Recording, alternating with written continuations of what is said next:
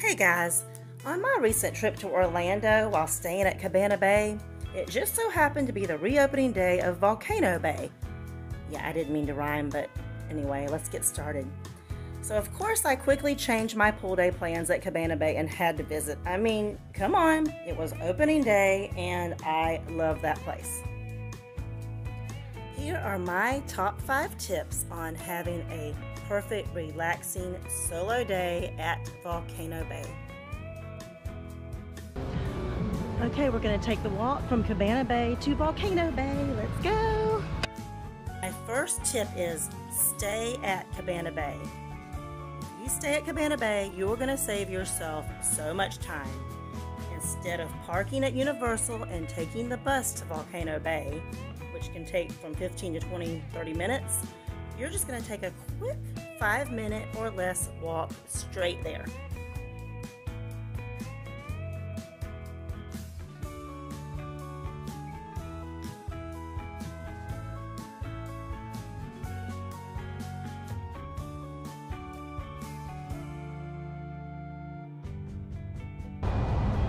I got my locker rented and I'm ready to go to the lazy river.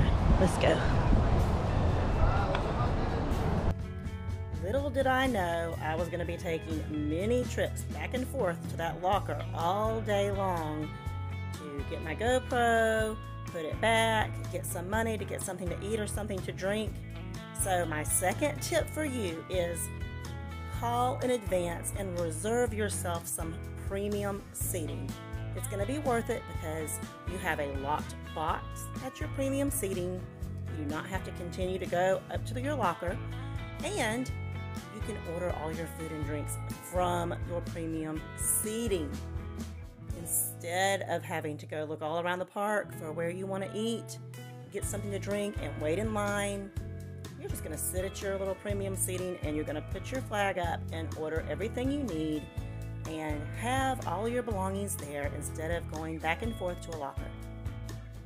My third tip for a relaxing solo day is enjoy the things you don't have to have any wait time for and you don't have to go up any stairs for for like the slides.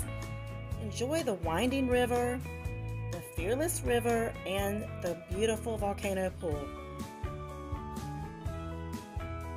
This is the winding river. I did not have any battery left on my GoPro by the time I rode the Fearless River, but it is so much fun.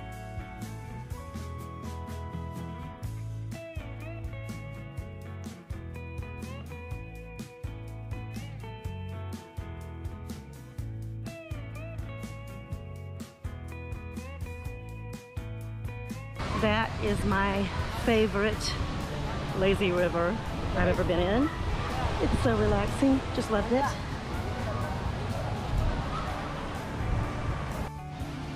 My fourth tip is do not forget to pack your own towels. I bring a couple of towels and I bring some that you can notice from a distance that are some bright color something so you can easily find your seat. The only place they will provide towels is at the cabanas if you rent a cabana. They don't even provide towels at the premium seating. They do rent towels, however.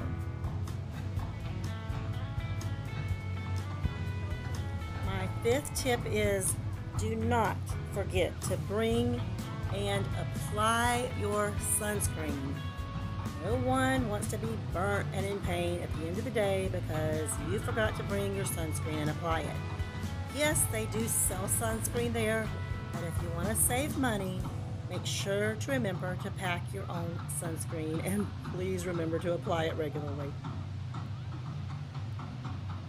I hope these five tips were helpful for your trip to Volcano Bay, whether it be a solo day or a day with family and friends. I am Orlando Girl 247 Jess. I'd love you to subscribe to my channel. Bye everyone.